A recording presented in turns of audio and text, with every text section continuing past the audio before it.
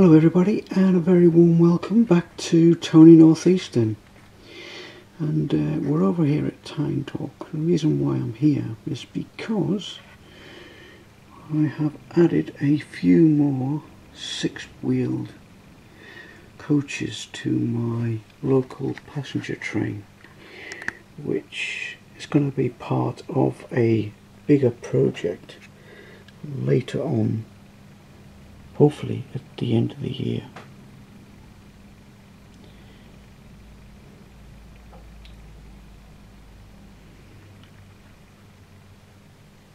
So I just thought I'd show you my latest acquisitions for the Northeastern. So, our next project, what is it? Let's go and find out.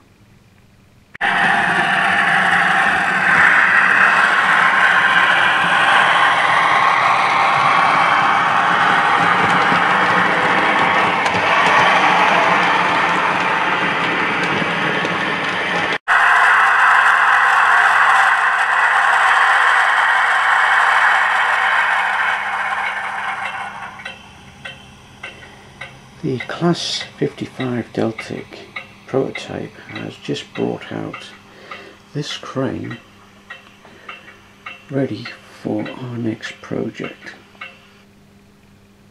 And the plan is is to extend this train by adding some bridge components So as you can see I've got my bits and pieces together. I think I've got everything I can think of. I've got some I-beams um, which I'm going to make some bridge trusses out of. I've got my bridge paneling and I've got uh, four tenders there, uh, six wheel tenders which I'm going to uh, modify uh, to use to transport the Peco bridge trusses there. And also I've got a couple of bolster wagons for the steel work that will go with the bridge. So what I'm going to do is I'm going to modify the tenders first um, take the bodies off and work out how I'm going to do all this. Um, bearing in mind I've got height restrictions on the layout so I can't go no higher than a basic carriage. Um, so that'll be interesting to see.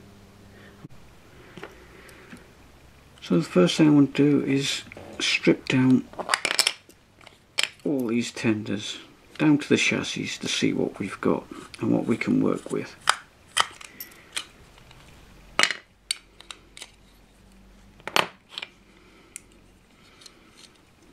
That's nice, nice flat bed.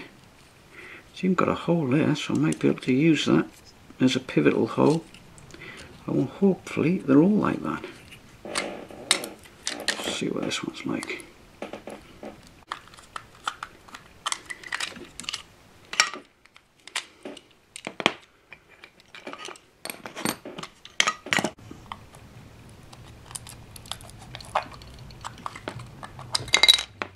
All right.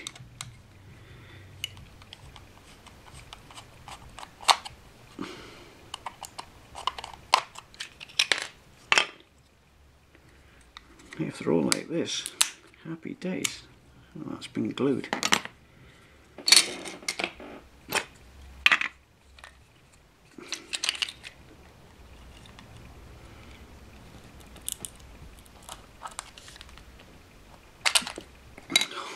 Look at that. Bit over the top.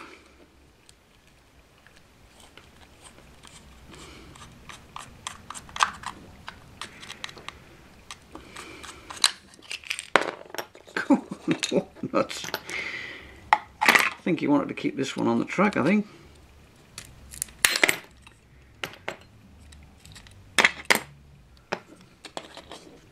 Right, that was easy bit. So the next thing to do is to take all these wheels off.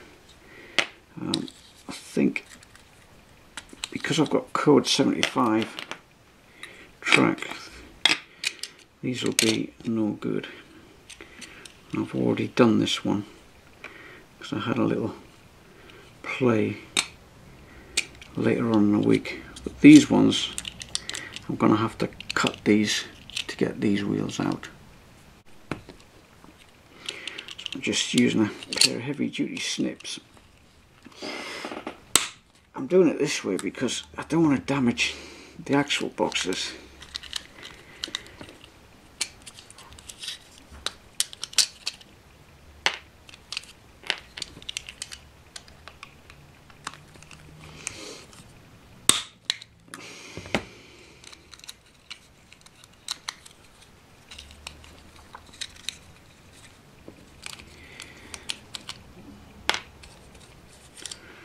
Right, so got the of the chassis.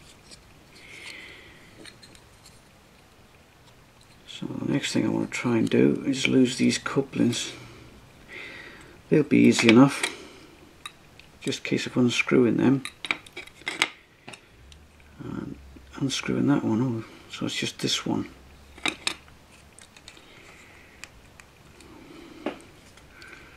Right. Oh, it just lifts out. Handy. So what I've got to do there, I've got to somehow flatten that and then fill that in, make it as good as this. Right, I had a bit of an issue with trying to get Dremel in there, it's just too narrow. So in the end I took it out to my shed, put it in a vise and got a coping saw with a fine blade and just cut right through that and that now is 8 millimeters.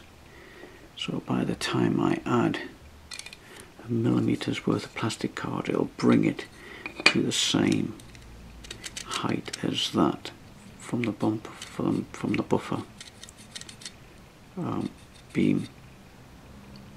So that's the next thing. Get this the same as that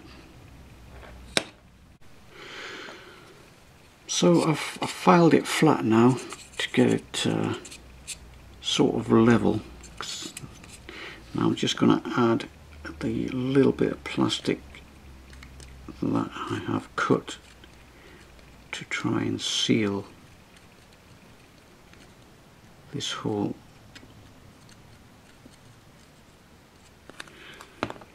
So more or less cut it the same shape as the um, coupling mount. So I just leave that on there and let that go off. And that should be the same height as the other ones. So I'll just check that. Make sure I've got the 9 millimeters. Yeah that's 9 millimeters. So I'll leave that to set what I'll do is while that's setting I shall measure the buffer beam which is 4.5 millimeters in width. And what I'll do is I'll cut a piece of paper which will take it up to that buffer beam and that buffer and then uh, we'll glue it on. The and then the paper will act like a piece of plastic card so before I glue this piece of paper onto the buffer beam, I'm just going to scrape away some of the paint.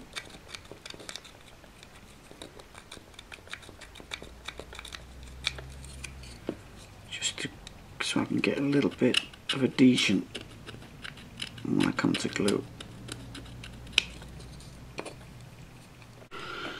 So as you can see I've glued the piece of paper on so what I'm going to do now is just cover the whole thing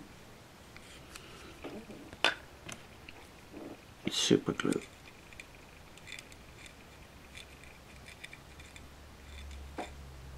And it will go like plastic.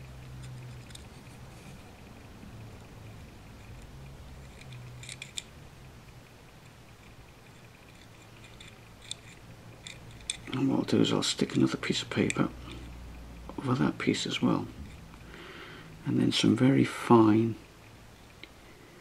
um, plastic strip to recreate the lower piece of the buffer beam and the top piece. So while waiting for that to harden we shall concentrate on cleaning up the rest of the tenders.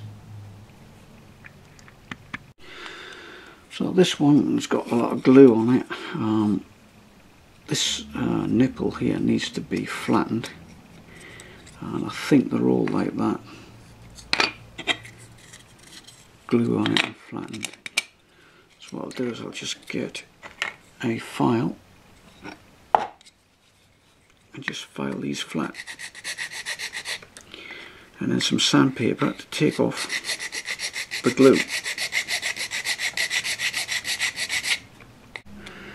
One thing I was not expecting to see when I took the tender bodies off of the chassis was a nice flat base to work with which is going to make my job a lot easier as you will see the more we progress with this build. Right so I've cleaned off all the bases on the chassis and uh, I'm looking around and they've all got different faults with them. Um, this one is broken. It snapped there but it hasn't broken off so I might be able to fix that. Um, some have got their axle boxes missing like this one so that will have to be repaired and all these gonna have to be repaired probably with little bits of plastic card but the main job I want to do now is fill this hole in. So I'm just going to mix some epoxy resin and then fill the hole in.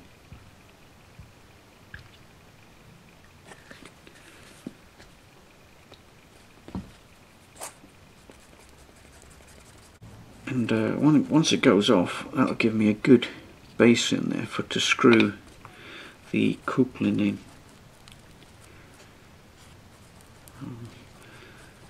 This epoxy resin doesn't go hot when you um, when it goes off because most epoxy resins, uh, with it being a, a, chemical reaction, get quite warm.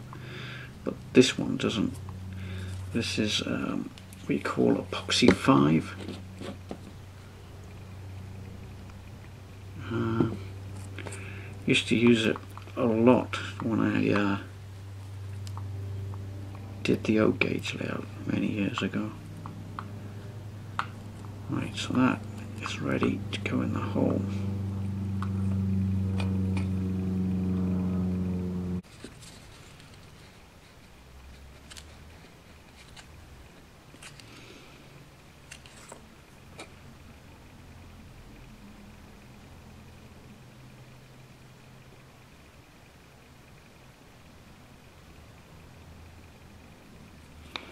So it's just enough.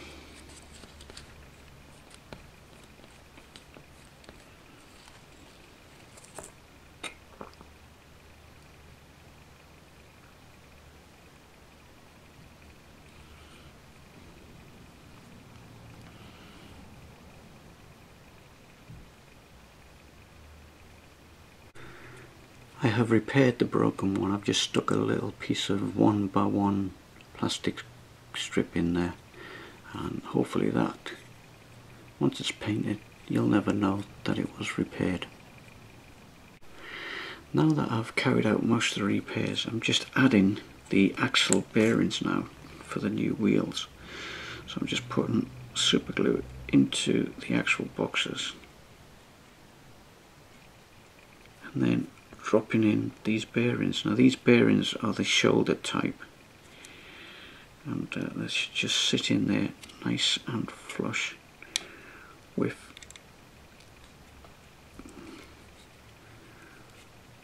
with the axle boxes. The wheels I'm replacing for the old ones are 12.6 diameter wheels and uh, at the same time I'm adding some weights to these chassis because they are quite light even with the new type wheels which are all metal. So now that the wheels are in and the chassis have been weighted, the next job to do is to fill in all the axle boxes. So I'm just using little bits of plastic card 3 mil by 3.5 and then once that's painted you'd never know.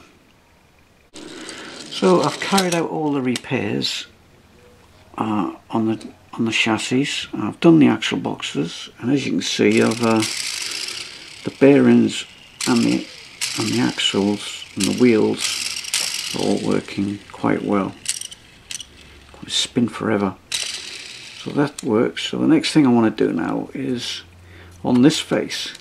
Um, I want to put a buffer beam in there. But I'm not sure whether I'm going to put any buffers on there just yet. So we'll do that next. It's just so I can get rid of that notch there. Or partially get rid of that notch. Um, but this notch here might play a part yet. But we'll have to wait and see so I've measured across the back there and it's 30 mil. So I want four strips at 30 mil.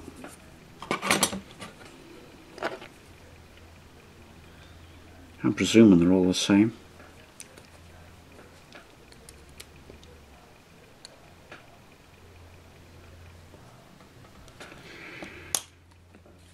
By the way, this strip is uh, 4 millimeters wide and I've just cut it off a piece of uh, uh, a sheet of plastic card rather than buying a strip just to do this job. So that's that little job done. Uh, the next thing I want to do is add some chain link couplings. Now I'm using some Smith's fine scale three link couplings. You get eight in a packet so there's just enough to do these um, tenders or bridge support pony trucks whatever they're going to be when I'm finished. Um, so what I'm doing is I'm putting a slot in between the buffers there. Between the buffers is 18 millimeters, so it's roughly about 8.5 to 9 millimeters um, for the center. And I'm just using a 0.8 drill in a Dremel. Drill the top hole in and then just work the drill backwards and forwards slowly to form a slot to take the chain link bracket uh, which comes with a spring but I'm not sure if there's enough room in there to get the spring in as well because it's quite a thick piece of plastic to go through. I think that would have been alright for a kit or something so I think what I'll end up doing is probably just super gluing that in there and that makes short work of that. Yep, that's going to be perfect in there. I've got the first chain housing or bracket through. I'll just pull that forward a little bit, right about there. Um, thing is there's not enough room in the back there to get the spring in. But if I can get the split pin in, I think that's all it'll need. So I'll just prise that apart and then it's job done. That's easy said and done he says. I've now finished fitting the chain link couplings and what I have managed to do is to utilise the spring in the end because what I did is I cut the spring in half and uh, utilised the spring that way so there is a little bit of a spring on there you can see it. So what I'm thinking of now is when these are not pulling heavy loads um, like the bridges which we will come into later on in the video or we'll come on to later on in the video is if these weren't being used they would have been coupled up back to back somehow I would imagine, because they would have come in pairs. Um, so what I'm thinking of here is maybe putting in a drawbar latch here in the center on each and having a drawbar which would have been about three or four foot long probably um, between the two of them. So that's what I'm thinking of. And then I'll make up the drawbars but I'll leave one on one of these um, chassis. So it looks like it's got the tool to use if there was nothing being hauled on these. I'd imagine they would probably would have used these for not just bridges but for um, really long tubes and other heavy um, items that were going to run on the railway but that's my thinking anyway to put a drawbar in between these two chassis. So this is what I was thinking of. So what I've done is I've made a little bracket there with a hole in it and so that will become the hookup for the drawbar. Now how I made them is quite simple. All I've done is I've got some I-beam, some 4 mil I-beam. Drilled a hole in it, as you can see, and cut off the flange on the lower side. And then you're just left with a T-piece, like this.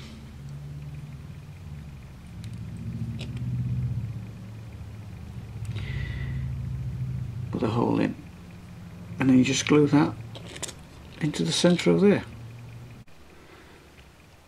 So now we have our draw bars I've made them out of 2mm rod. They're 10mm long and all I've done is I cut a groove in the ends and then superglued two washers or spring washers into the slots. Now the spring washers, you've got to take the spring out of the washers. So I used two pairs of pliers and just tweaked them until the spring was out. And then the spring part of the washer goes into the slot. Gives you a bit more glue coverage as well. Actually bites it into there.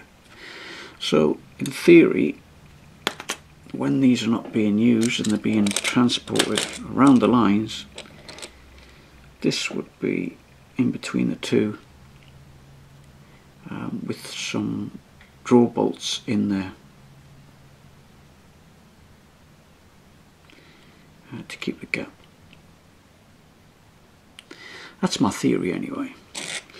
So you're probably wondering now, how is all this going to work? Right, well these things, these drawbars are just for show. They're not going to be used.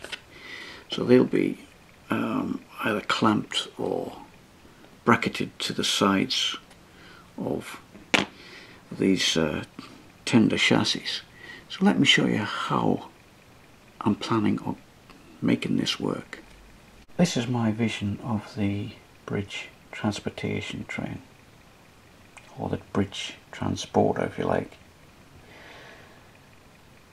with a girder plate on a pair of railway tenders or railway engine tenders as you can see. I was going to use A4 tenders but could you find any second hand ones anywhere? Um, not at the moment, so I've gone with these. They'll do the job. Anyway, that's the idea. And then following behind that will be the bolster wagon, which will have all the steel work, um, the girders and everything else for the bridge span, which ties the two um, girder plates together.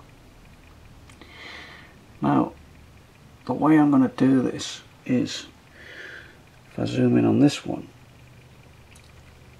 using the existing holes, which was uh, very lucky on my part, I'll make up a bracket which will glue the girder to it and the whole thing should swivel on that hole on both ends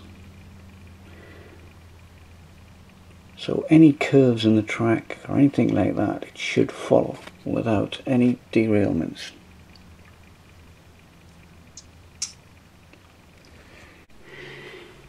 Here we have the drawing for the bracket for the girder plates. As you can see it's, oops, sorry, wrong one. As you can see, it's 30 mil long, 16 mil wide, and the plastic hull is going to be 2 mil thick. The hole is going to be 3 mil, but it's going to have a little bit of a uh, countersink to it, so it, it drops in. And uh, 5 mil from the edge and this is how it's going to work on the other side as you can see this is the checker plate I've got to make which will sit in here and the bracket will swivel to and fro on this bit which will allow the girder plate to move with any curve um, or radiuses in the layout so what I'm doing now is I'm just opening up the holes on the chassis for 3 mil.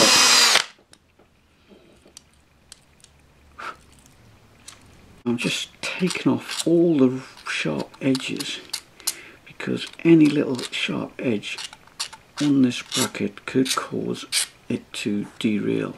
So if you take it off on both sides just to make sure that there's no sharp edges. Next thing to do is to start gluing these little brackets to your bridge girders. Um, I have noticed that the ends are not square. Now it's important that you get this face nice and square. So I'm looking at it and I'm just going to run a blade across that a few times just to square that off a little bit Because you don't want this to be leaning when it's on the chassis. I'll just take that, I'll just check the other side as well. That's the same, there's a, there's a lip on that edge. So you just, you've got to take that off.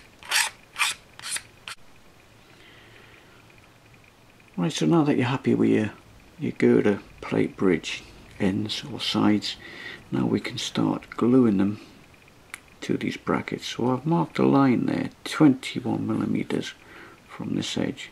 I'm just putting a bead of glue there up to that point. And then obviously making sure your bench is nice and clean to do this bit because this is critical. You need your bridge girder plate to be bang center of your bracket that you've made.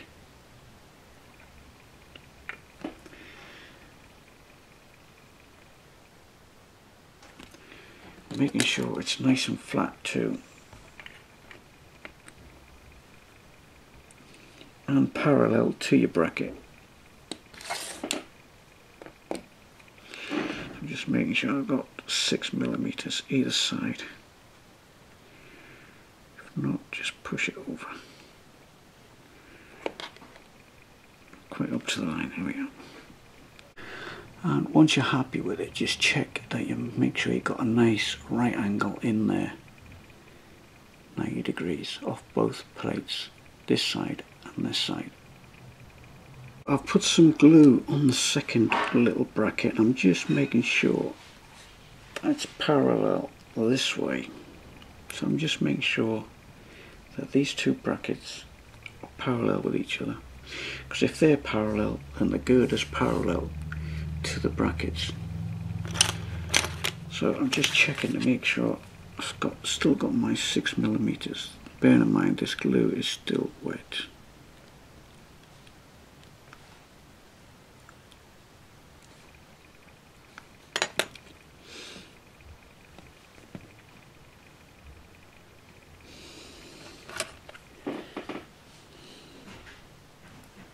Six millimeters there six millimeters there. Right, now that we've got the first one fitted to the chassis, so we'll just uh, have a quick test, make sure it goes through the points alright and it follows the contours of the bends. Which it does. Yep, I'm quite happy with that.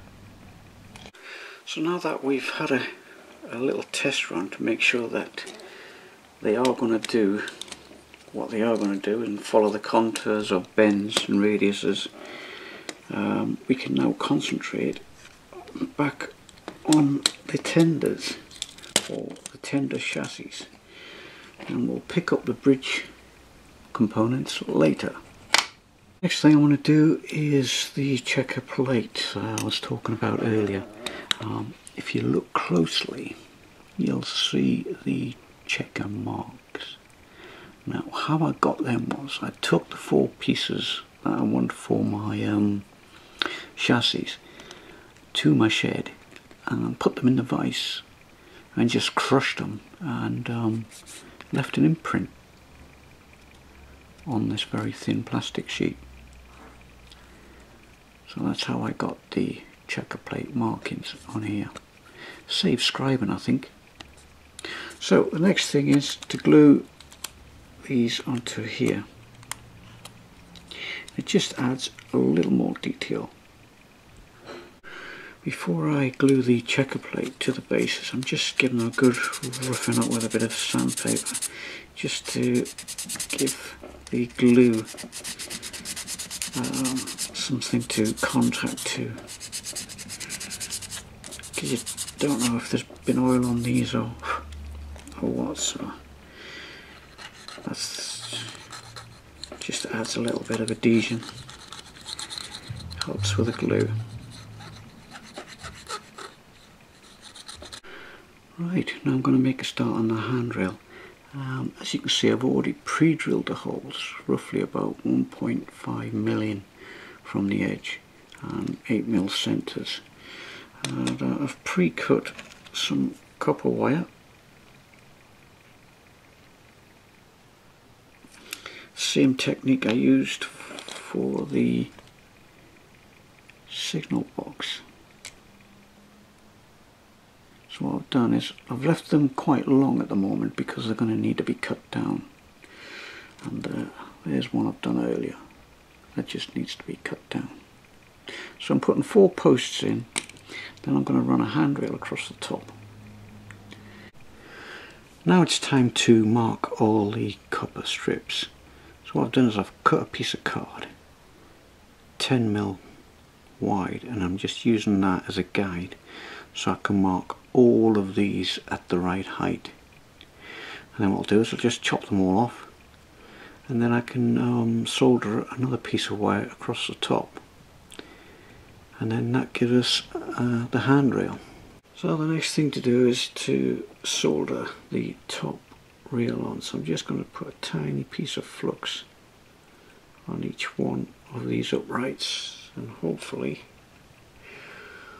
we'll be able to solder one of these ends on and work our way along.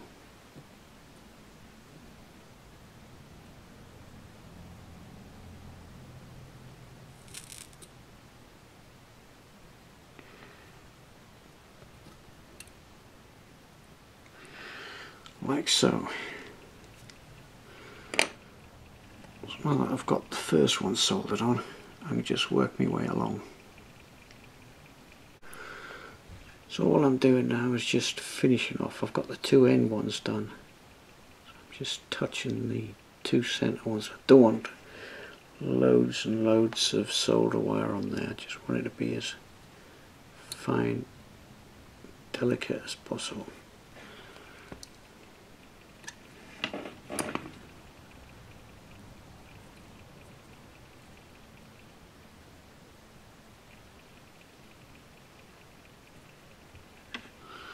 Right, I should do that one.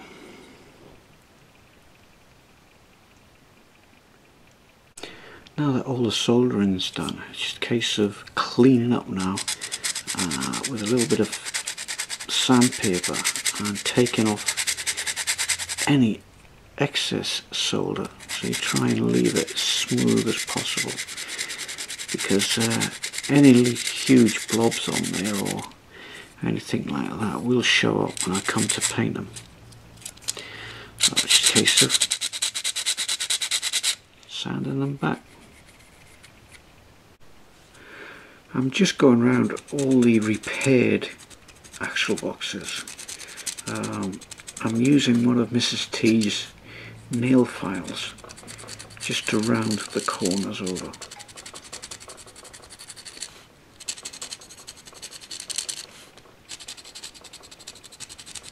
Just to take the squareness off.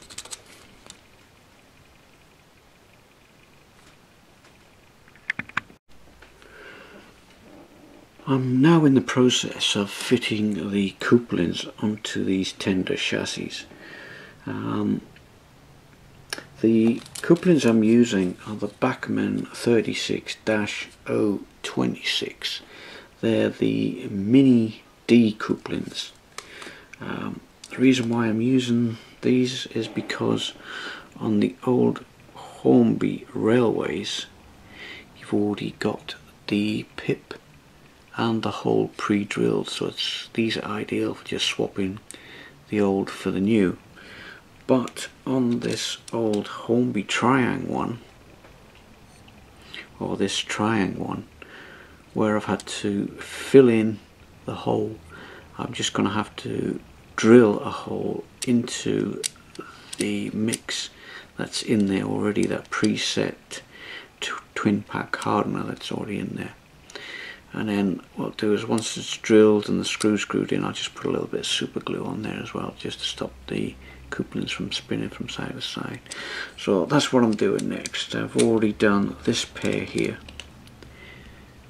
And as you can see it's coming together nicely I'm using original screws as well which helps I've decided to add more detail to these load bearing wagons um, you see these square lugs which used to keep the tender apart. I'm going to make use of them. Um, as you can see I've stuck on a piece of 4 mil plastic strip there and I'm going to do the same this side. One side I'm going to create toolboxes um, for the bolts, um, shackles um, and uh, maybe some jigs or whatever they would carry in one side and on the other side I'm just going to have it open and I'm going to glue some chain in there for the slingers. So I'm just breaking up and adding more detail to these load bearing wagons. That's what I'm going to call them from now on the load bearing wagons because um, they're not tender chassis anymore so then we have something like this. So that's one down and three to go. So we got two toolboxes here, small toolbox there, and that's just a, a cover plate just doing nothing. And in between there we have a little trough where the chain will go. And here are the tender wagons or the load bearing wagons uh, now attached to the train. Um, I don't think I'm going to have time to paint these up this weekend. But what I'd like to do this weekend is show you a running test just to make sure that these bridges go under the bridges on the layout. Um, so what we'll do, we shall couple up an engine to it and we'll see it running around the layout. With the crane and everything like a proper full um, maintenance engineering train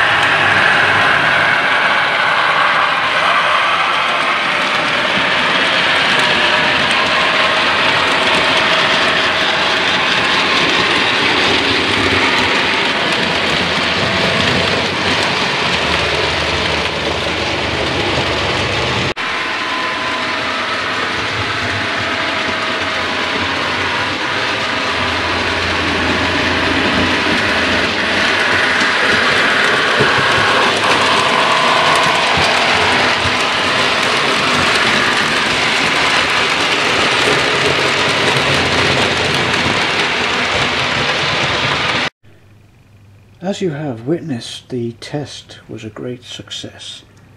Um, going backwards, forwards, crossing the crossovers and all the radiuses, uh, no problems with the articulation of this bridge um, girder on these two tender chassis. So I'm quite happy uh, with the way that the test has worked out. Um, my original plan for this, by the way, wasn't to have two separate girders on two separate sets of tenders chassis. Uh, my original idea was to have the two girders on a pair of A4 chassis, tender chassis. Um, obviously with a longer wheelbase you'll be able to cope with the loads but could I find any A4 chassis or tenders? Uh, not really not really but this makes the train look a whole lot different I think um, it seems to work so um, the next video we're already talking about next week's video. Oh, right, that's good. So what we're going to do on next week's video is to paint these up. Um, um, yeah, paint these up. Uh, I'm not going to bother adding any more detail because um, there's enough detail in there. If you look closely, you can see the handles on the toolboxes. And we have a little tray there to put the chain um, like we had said earlier. Uh, the next thing to do is to build a bridge for the girders. Probably wondering, what, a bridge? Well, the idea is not only have you got the girders, but you want all the steel work that goes with the bridge, hence why we have two bolster wagons. So that will be in next week's video. And also there'll be little details to add to these girders. Uh, lifting eyes and uh, probably some shackles, that sort of thing, and some brackets to brace this here on both sides. So that should uh, be the final piece of detail to add to this train and that will all be in next week's video. So until then if you like what you're seeing, leave a comment. I'm sure I'll get back to you. Until then, it's bye-bye from me, and uh, we'll see you next time. Bye for now. Bye.